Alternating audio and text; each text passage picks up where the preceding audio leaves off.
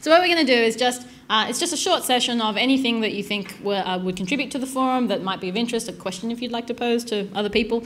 Um, and we'll just, we'll do this for about, well, up to 30 minutes for as long as you can deal with it. Um, and uh, then what we're going to be doing is having a, a fairly uh, open and frank discussion session where what I'm actually going to do, I was thinking about this before, I was going to sort of make it Q&A, but I find that sometimes um, can be quite daunting for people, is I'm going to put you in groups um, of sort of four or five people to talk about um, uh, some things I'm going to give you to talk about, and then to basically for about 20 minutes, and then to report back to the group on um, on what your group came up with. So that puts a little bit more pressure.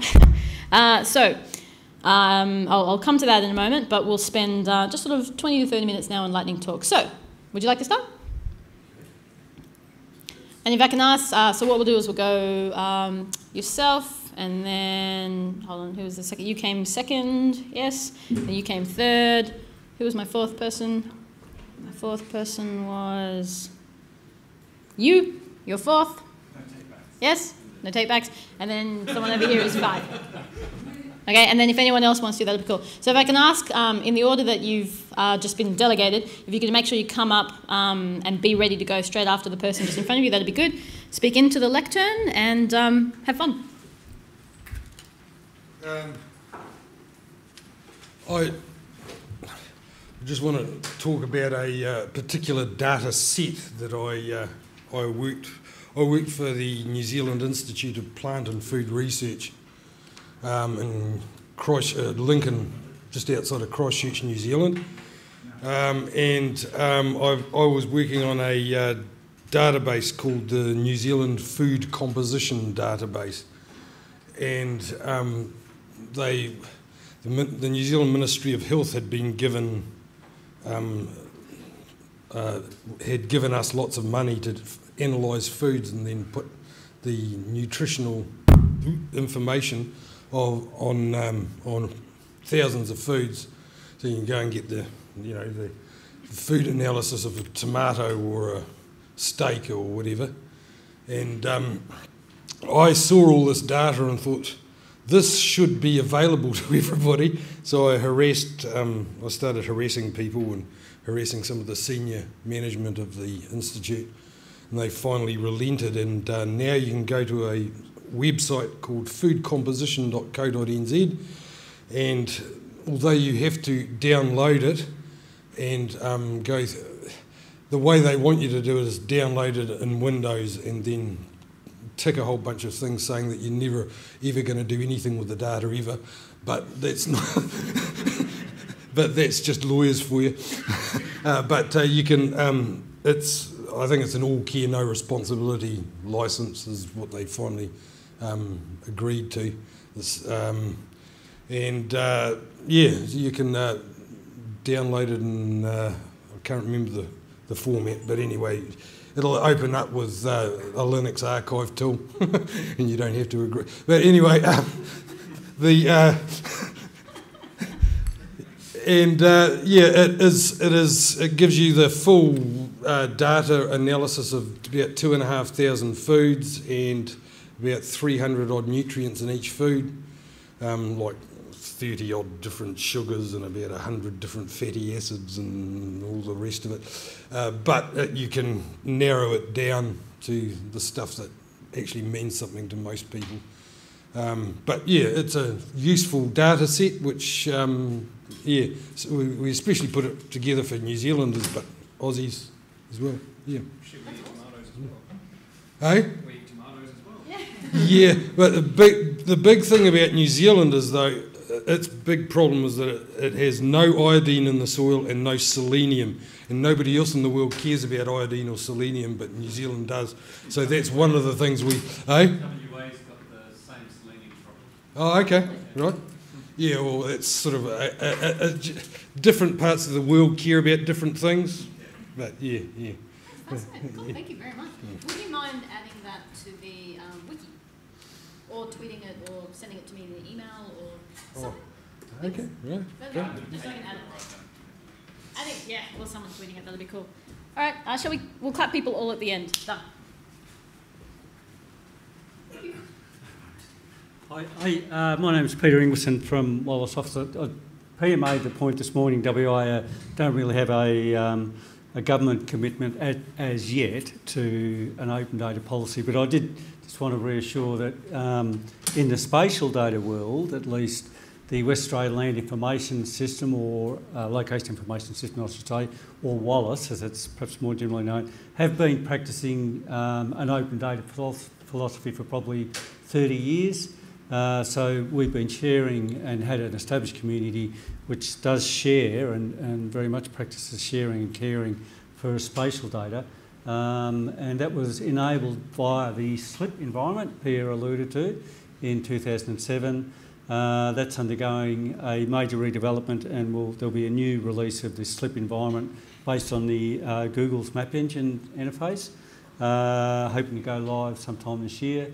And there was a, a scaled down and very public facing version of that uh, released in December, Keith, wasn't it? Yeah. Or Locate WA? Yeah. November. So that, that's, and if you haven't had a look at that and you're from WA, I'd encourage you to go and have a look at that, which is like locatewa.wa.gov.au. Yeah, just Google. Just Google it, yeah, and, and you'll find it. Wiki, yeah.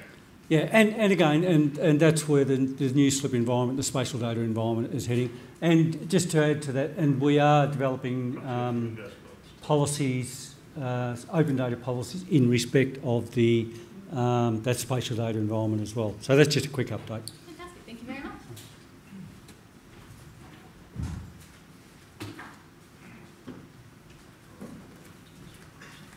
My name's Paul Hamilton. I um, used to work in local government and uh, in IT, sysadmin, and it all, uh, there's a local government IT group that meets once a year um, in Coffs Harbour.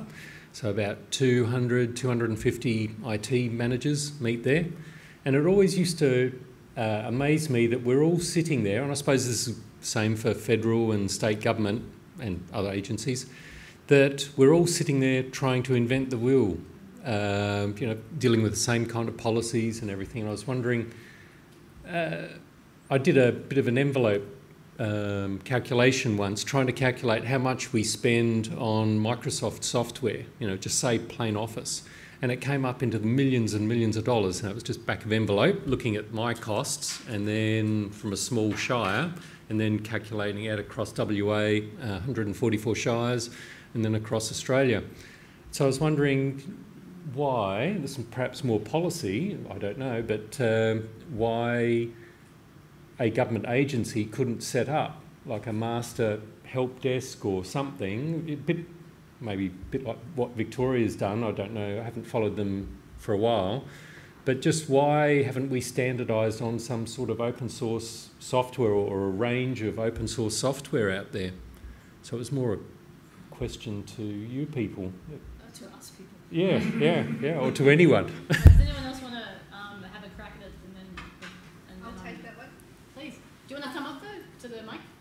Yes, you totally yep. do. Yes, Thank you. First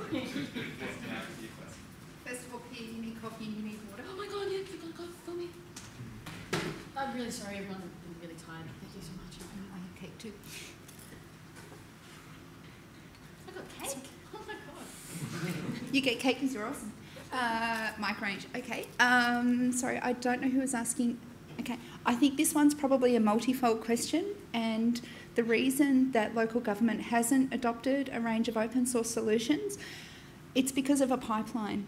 So if I look at discovery to deployment, if I look at the discovery to deployment pipeline, first of all, you as a um, sector, as a cohort, may not know what's out there. Then you may not know how to use that software, you may not know how to support that software, and you may not know how to deploy that software. If I'm going with a proprietary solution, as a marketer in a proprietary company, it's my job to make you discover my software. It's my job to shoehorn my software to fit your problem as a solution. And it's my job to do things like readiness and my job to do things like um, after sales support to make sure that you're utilising that software. We don't necessarily have that ecosystem in open source. Um, although that's changing over time. So I think it's about building that pipeline, the search, the discovery, the um, alignment between enterprise problem and enterprise solution, making sure that the holistic needs of the organisation are thought of. Everyone knows how to use Microsoft Word, everyone knows how to use Excel. Going from Word to Excel to LibreOffice or to OpenOffice is slightly different. Going from Exchange to um, Thunderbird, going from IE to Firefox, it's a slightly different experience. So, as an open source industry, I think what we need to do is make sure that we're covering off on the pipeline. And I'll stop hogging the microphone. No, no, that was great. Um, so there's a couple of other things. Uh, shifting a desktop operating, like sh- shifting the desktop's hard, stupid hard. And in fact, if you want a good case, well, that's where I'm about to get to. Yeah. So, but even shifting office is hard. Um, so South Australian government a few years ago, and it's very much worth going and talking to the office of the CIO down there about this experience. I don't think it was documented anywhere yet, but um, but they did like a huge um, uh, trial of a bunch of um, Linux operating systems um, for the desktop for government, which is very very interesting. But it's hard. It's very very hard to shift the desktop. Having said that, so so my first point is about the shift to cloud services is going to enable a lot of this, because when your um, business applications are not reliant upon the operating system or on other parts of that stack, then you know you can shift a, a, lot of stuff. And I mean, for instance, there are a lot of departments in the federal government, yeah, I can say this, who were stuck on IE6 for a long time because there were contracts with a major vendor that I won't name, um, where the major vendor, and it's not Microsoft, where the major vendor said, we will, um, our current contract with you is to support um, your um, major business application through IE6, and we won't support IE7 or IE8, I think they were up to by that stage um, unless you pay us a whole lot more money. So, so that you know, so there is a lot of things to take into account. So as things more move more into the, the cloud, I think that's going to um, create more opportunities. But the second one is, um, particularly in federal government, particularly for large tenders, um, a department can only choose from the tenders that are given to it. And if every single tender response comes back um, and, and, there is absolutely no you know, um, variety in the options that come back, then you can only choose from what you're given. Otherwise, you know, it's, it's like you're, otherwise you're actually thwarting what is actually, a, you know, supposed to be a, a reasonable system. So um, it's important to note that, you know, people actually need to put forward tender um, responses. Um, and at the same time, there's a lot more ways for SMEs, for small businesses to actually engage with government to do contracting now than there were. So there's still a lot of perspective that it's too hard to work with government, but that's changed a lot just in the last few years. And um, so a lot of the industry needs to, you know, needs needs to engage more with government and with the opportunities that are available to it. We now have a, in federal government an SME IT advocate, who, Don Easter, whose entire job is to look at how to make it easier um, for SMEs to actually get government business. So that's a whole new thing that's only a couple of years running, and a lot of changes have been made to some of the rules and procurement stuff around to make that easier. So there's a couple of aspects there, but the other one is also just about that, that like you say, just collaborating and figuring out how to make it, um, how to find ways to solve a problem once rather than many, many, many times. Shared services is one of those terms that's become a dirty word because of you know a couple of states have had some pretty major issues that have been widely reported. Um, but there's other states and territories who have done it very, very, very well, and that's never reported because no one likes a feel-good story. So um, getting more, I, I think, um, balance in the reporting around um, what can and can't work, I think, is very important. Now we had Chung. Yes. So there's a couple of other things. Uh, shifting a desktop operating, like sh shifting the desktop's hard, stupid hard. And in fact, if you want a good case. Well, that's where I'm about to get to. Yeah, so, but even shifting office is hard. Um, so South Australian government a few years ago, and it's very much worth going and talking to the office of the CIO down there about this experience. I don't think it was documented anywhere yet, but um, but they did like a huge um, uh, trial of a bunch of um, Linux operating systems um, for the desktop for government, which is very very interesting. But it's hard. It's very very hard to shift the desktop. Having said that, so, so my first point is about the shift to cloud services is going to enable a lot of this.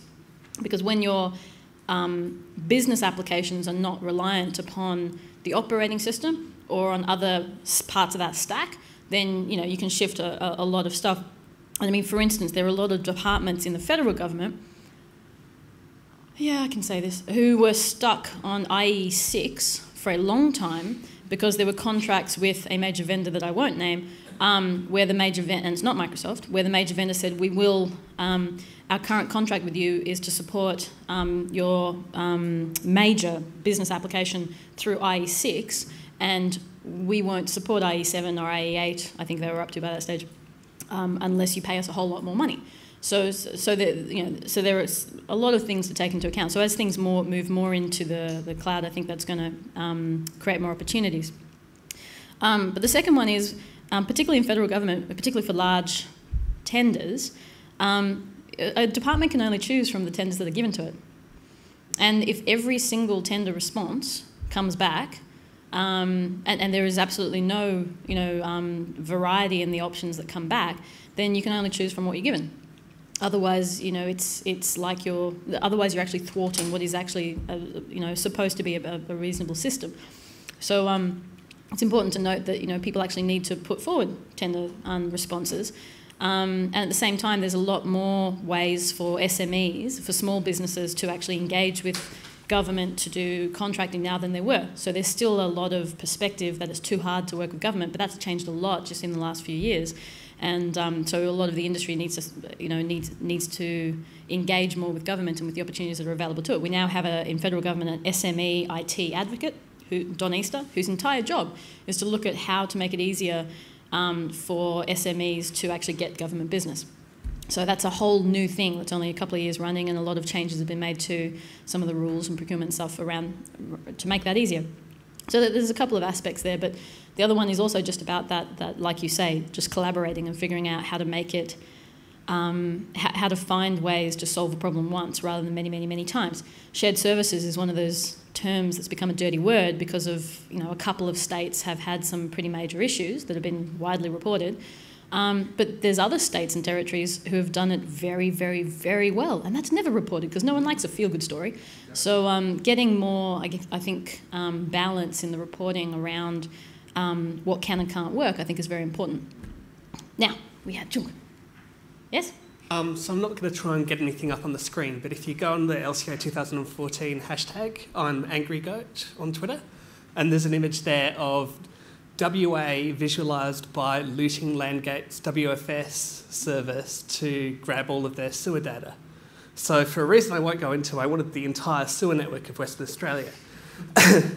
and Landgate only, um, have a WFS service, which is Web Feature Service. Um, I think Keith's not wincing, um, which lets you grab um, polygon data, line data in a fully, you know, almost like SVG um, rather than uh, rastered data.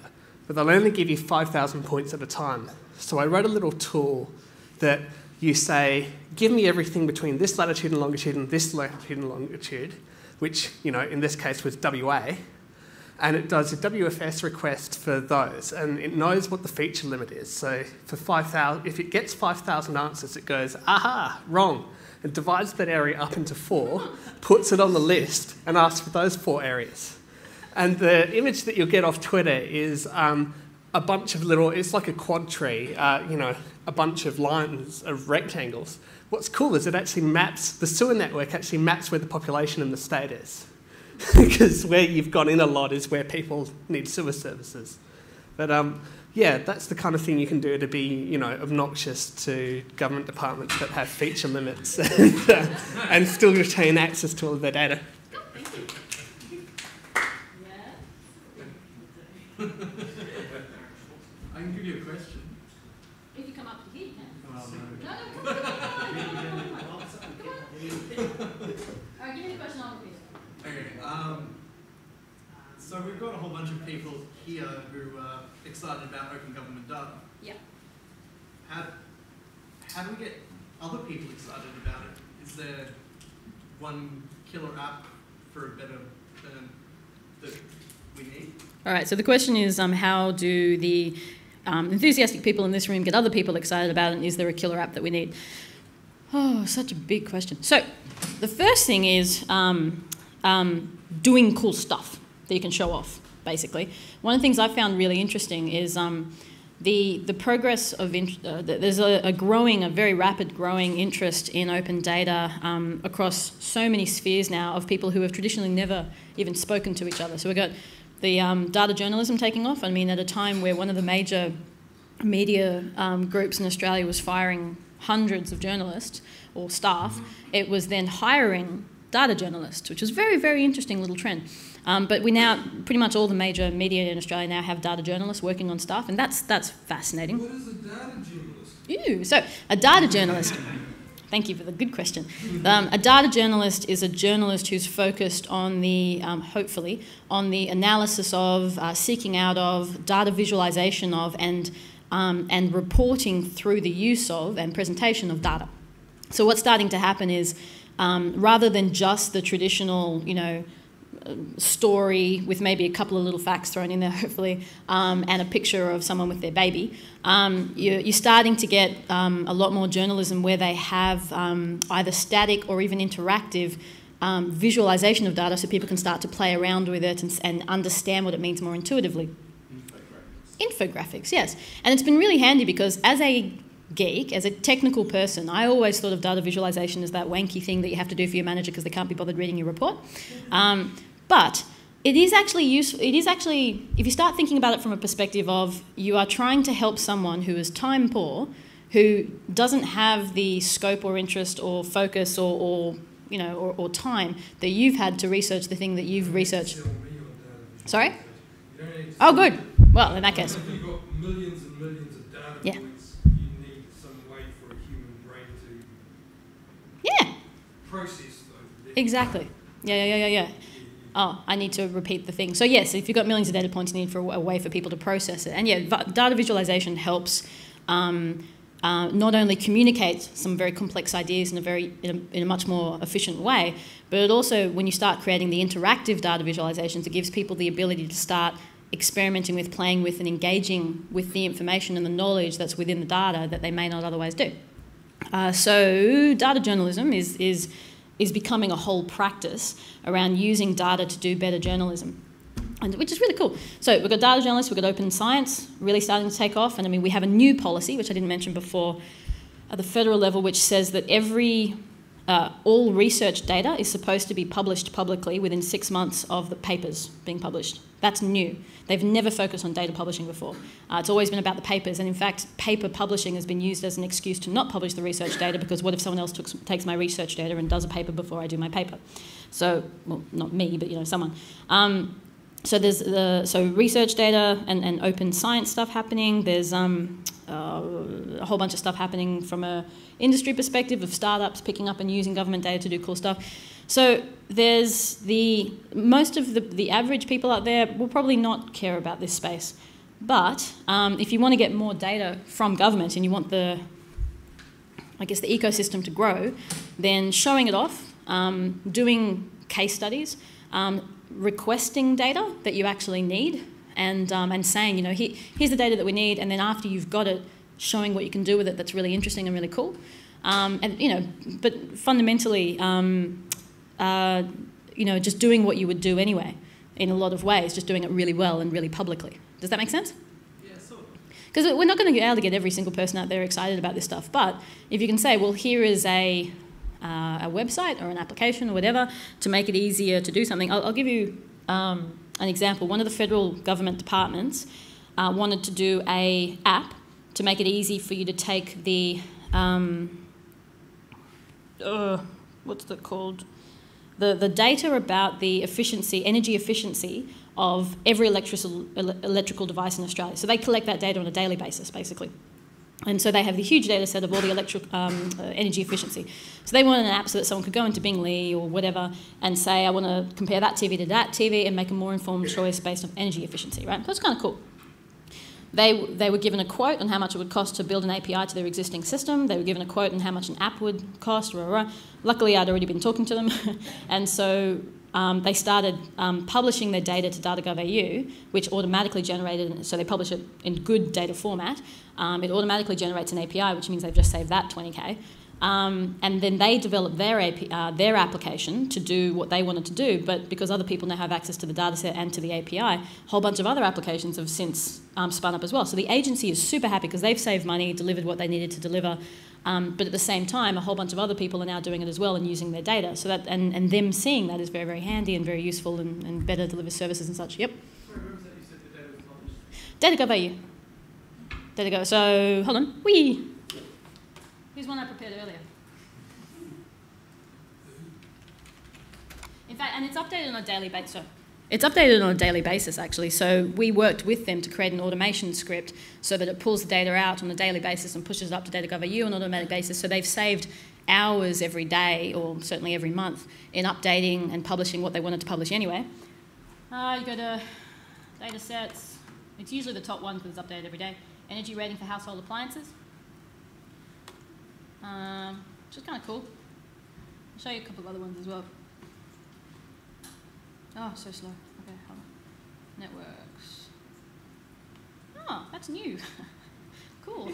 Uh, that's awesome. We actually published the last 10 years of all government contracts over $10,000 because they're all the ones that have to be reported on publicly. So we've just published the last like 10 years worth of that data or 12, 13 years of that data, which is kind of cool. Uh, anyway, so.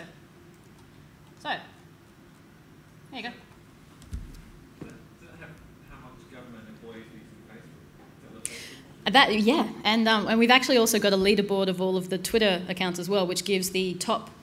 It, it basically gives a list of um, all of the government Twitter accounts and um, in order of how many followers they've got. And it's kind of fun because we publish that every month. So, as in my team publish that every month as a way to sort of get a little bit of competition going with the agencies. Oh, and it's so funny to watch. Um, and it's good because, it, yeah, and it, but it's really good because not only does it get them sort of competing, but even though number of followers shouldn't be something you compete on. I mean, if I went and tweeted something superbly embarrassing, then that would get a lot of followers, but it's not necessarily the success criteria I want to be judged on, right?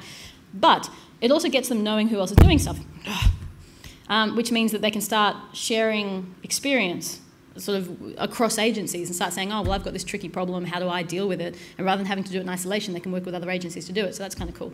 Um, okay. So, yeah, lots of. So, basically, just do cool stuff is, is the simple answer. When I go to Treasury and say, um, so we've got one of the data requests uh, on, DataGov, on the DataGov.au data request site, which I'll show you. Again, here's one I prepared earlier.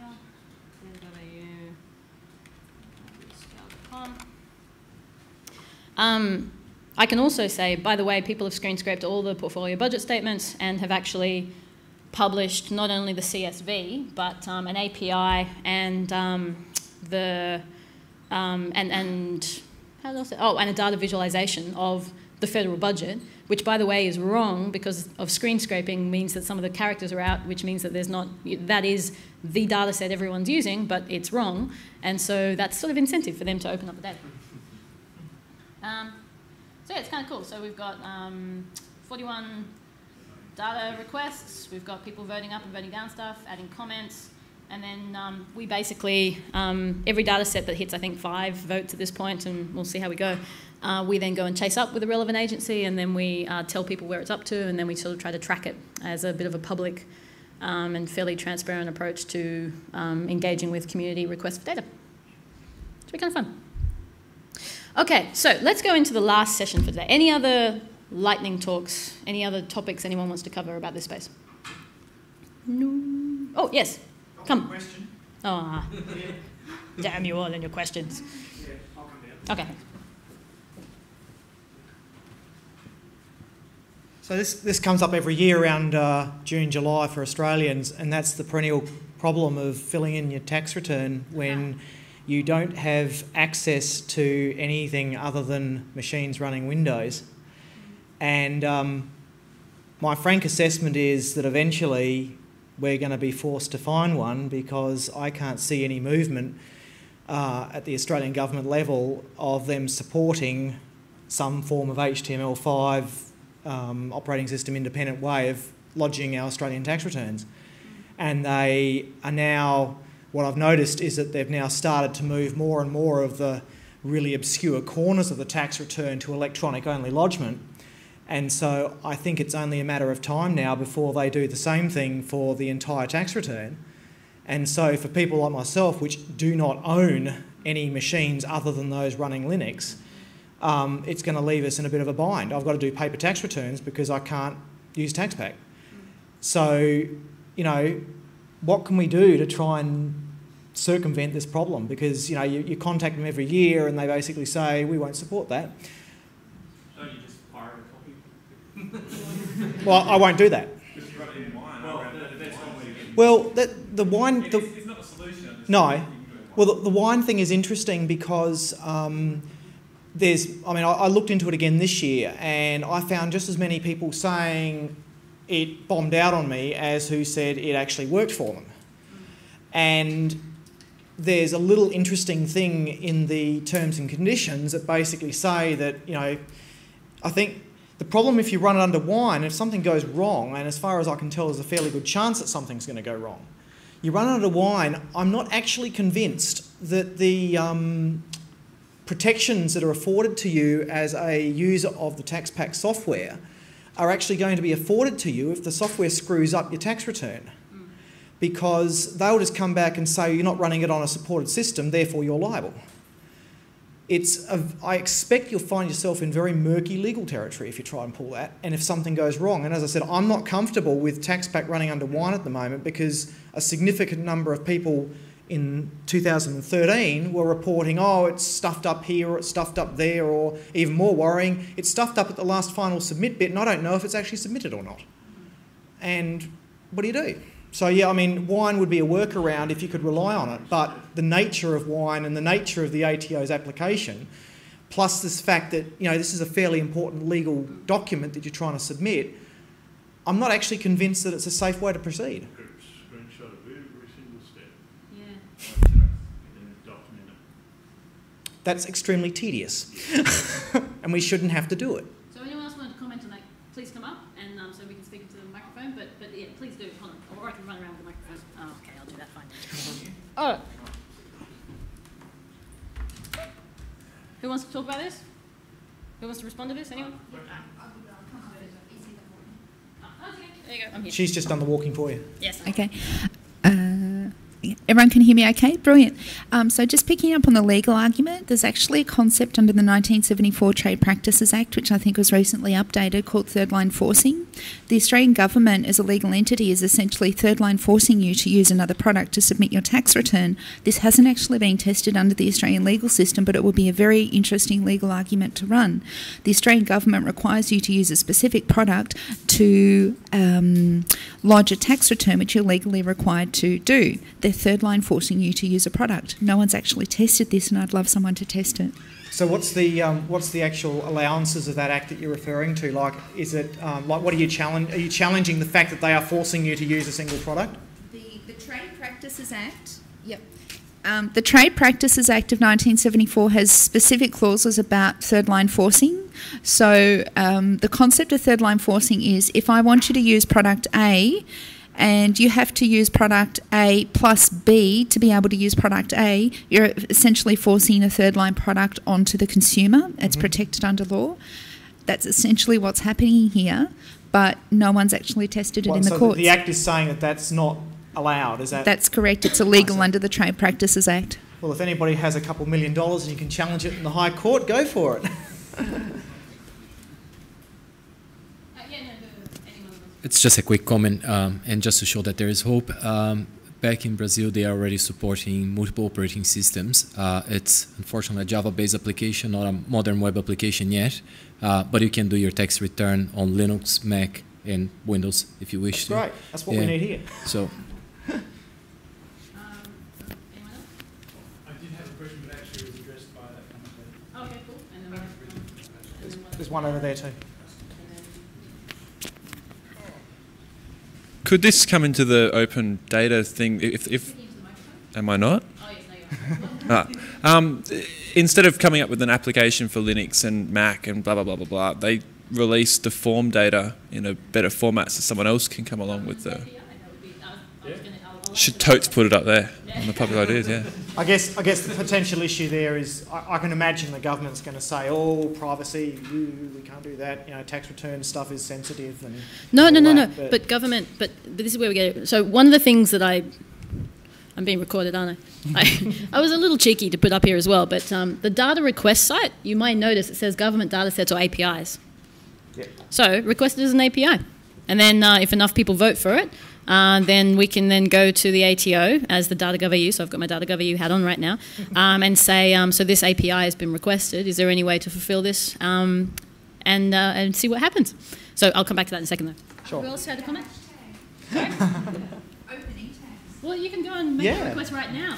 Yeah, you got to active community. Open e-tax, that works. Five. How many are in the room? From Australia. So everyone here votes. From Australia. Yeah. I'm just thinking a hack you could do. You could fire up an Amazon micro instance running Windows Server and just run it on there.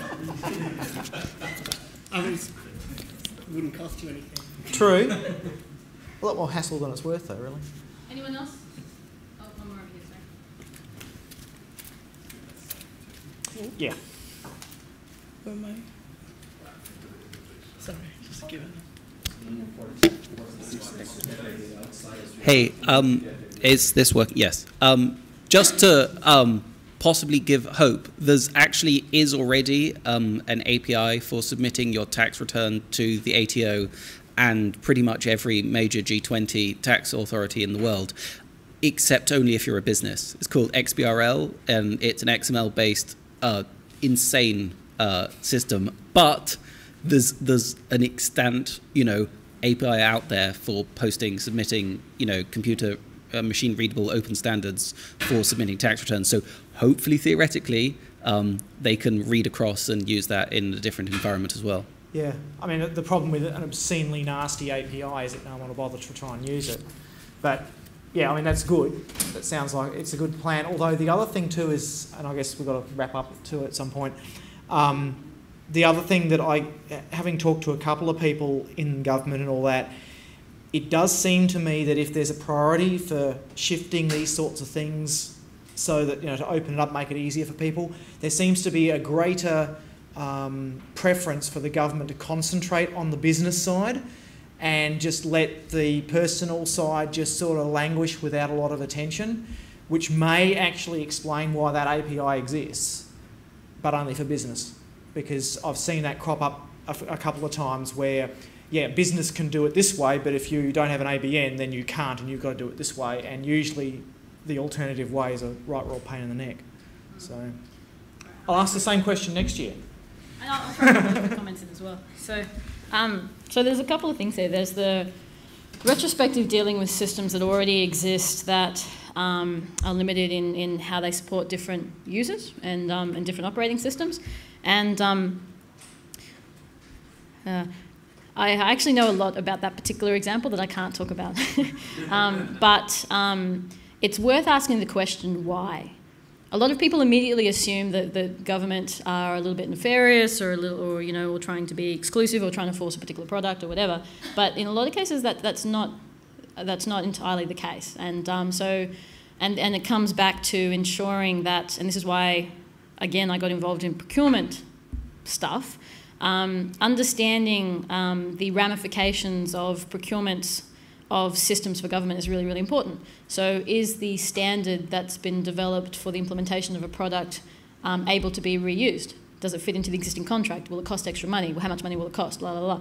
Um, so there's there's uh, understanding why this is the case. I think is probably a very important thing to investigate and and asking the ATO. Look, not not just saying we want it, we want it now, because we've all been saying that for many years now, but saying why is this the case? You know, what are actually the blockers to doing this?